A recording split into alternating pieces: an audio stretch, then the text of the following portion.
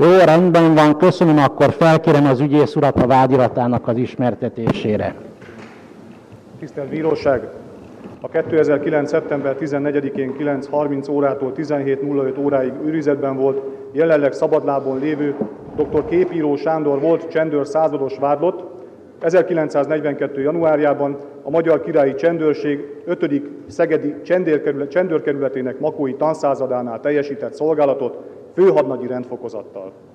Ebben az időben a Magyarországhoz visszacsatolt Bácskában megszaporodott, megszaporodott partizántámadások miatt dr. Ferbach Péter újvidéki főispán előterjesztése alapján a Magyar Királyi Honvédség vezérkari főnöke, Vitéz Szombathelyi Ferenc vezérezredes, az 1942. január 15-én kelt 4089 per elnöki római 1 1942 számú rendeletével a Magyar Királyi Honvédség és Csendőrség egységeinek bevonásával elrendelte Újvidékváros teljes átvizsgálását is, melynek végrehajtását az 5. hadtest parancsnokságára bízták. A tisztogatással kapcsolatosan az 5. hadtest parancsnoka Feketehalmi Ceidner Ferenc altábornagy 1942. január 18-án kiadta az 1300 per elnöki római 1 1942 számú rendeletét, amely iránymutatást adott a városokban, nagyobb községekben végrehajtandó tisztogatási feladatokra. E rendelet alapján Grassi József vezérőrnagy, akkor ezredes, 1942. január 20-án kiadta a 136 per K6 mínusz 1942 számú írásbeli karhatalmi parancsát, amely már részletekben menően szabályozta az újvidéken végrehajtandó razia során betartandó előírásokat. Ez alapján a raziában résztvevő rendőrökből, csendőrökből és honvédekből kutató járőröket hoztak létre úgy, hogy egy járőr két csendőrből vagy két rendőrből és a munkájukat biztosító két-három honvédből állt. Feladatuk a házkutatás, motozás és az igazoltatás volt. A karhatalmi parancs szerint az őrizetbe vételt a járőrvezető foganatosította, az elfogolt szemét a fogolyátvevő járőrnek adták át. A kutató járőrök mellett gyűjtő és kísérő járőröket is létrehoztak.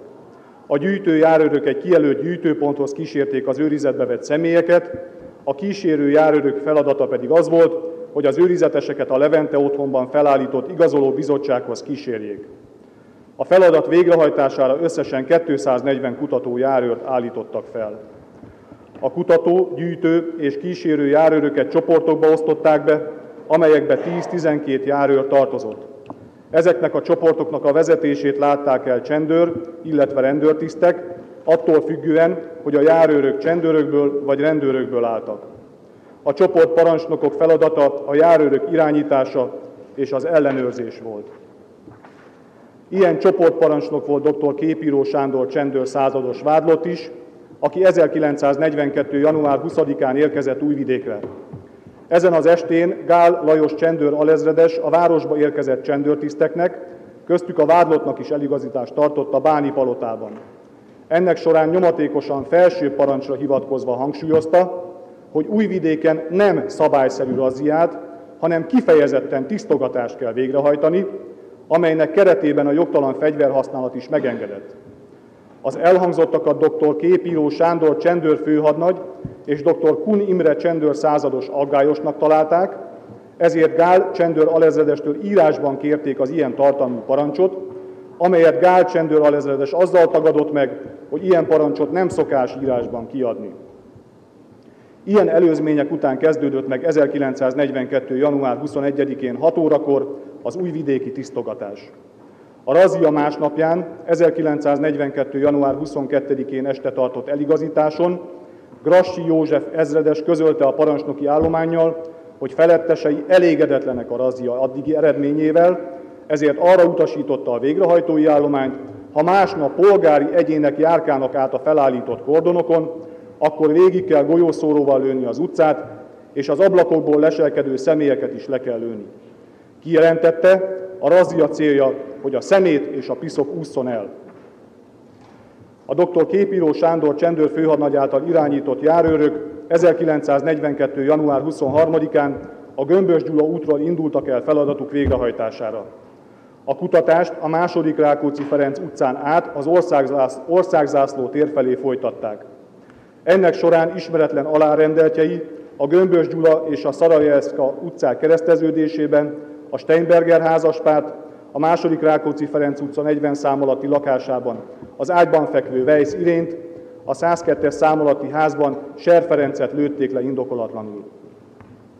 Ezen a napon a délelőtti órákban dr. Képíró Sándor csendőr főhadnagy utasítására egyik kutatójárőre őrizetbe vette Máriási Mihályt és Máriási Sámuelt, akikről a környékbeli lakosok azt állították, hogy a magyar csapatok 1941 áprilisában történő bevonulásakor a honvédekre fegyverrel támadtak.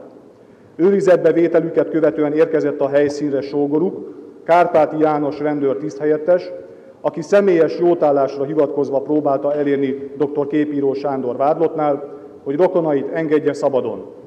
Ennek dr. Képíró Sándor nem tett eleget, így a Máriási testvéreket a Levente otthonban felállított igazoló bizottsághoz kísérték. A Máriási testvéreket később több száz emberrel együtt ezen a napon kivégezték.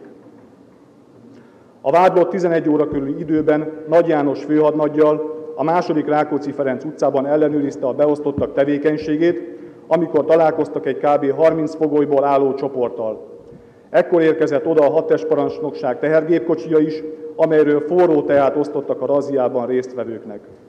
A vádlott megkérdezte a járművezetőtől, elvállalja-e, hogy az ott várakozó, összegyűjtött foglyokat elviszi a kivégző helyként megjelölt strandra.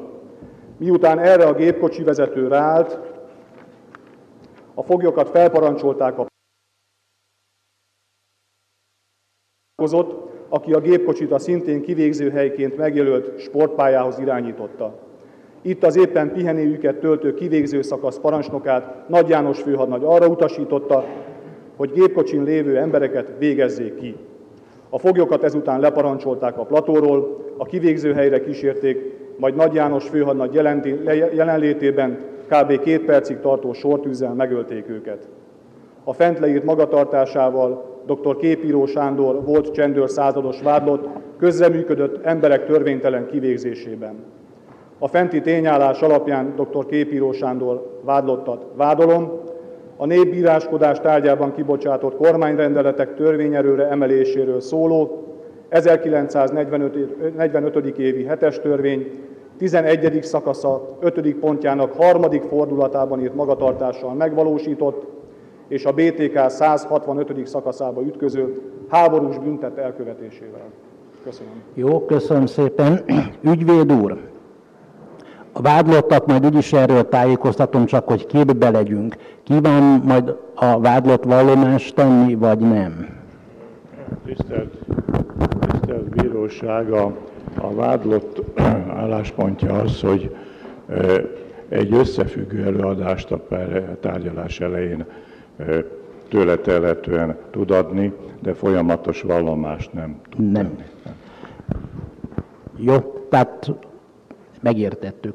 Jó, tehát akkor következő lesz a továbbiakban az eljárás menete, így akkor valamelyest képet kaptunk, hogy nálam most van 9 óra 50, 10 óra 5 percig, az egy negyed óra szünetet tartunk, 10 óra 5 percre mindenki jöjjön vissza, ekkor kezdjük meg akkor a vádlottnak a kihallgatását.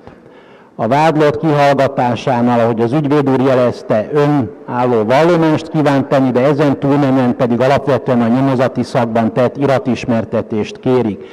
Eddig fogunk eljutni akkor 12 óráig, tehát ez lesz a mai tárgyalás menete, hogy a vádlott egy rövid összefoglaló vallomása után felolvassuk az ügyészi szakban tett vallomásait. Ez olyan 12 órára fog majd befejeződni, és arra a napra befejeztük a bizonyítási eljárást, majd a többit utána fogom elmondani. Az a kérésem, hogy itt szünetbe se inzultálják a vádlottat, ha nem kíván nyilatkozni a sajtónak, akkor tessék ezt tiszteletben tartani. A tárgyalóteremben bent lehet hagyni értékeket, mert a tárgyalótermet le fogjuk zárni. Nem tudom, önök bent maradnak inkább, ügyvéd úr? Tessék? Vagy kint sétálnak egyet? nehéz a mozgása. Jó, akkor ő maradjon bent. Nem tudom, vizet vagy valamit hozzunk fel? Jó, majd vizet hozunk fel, Zsuzsa.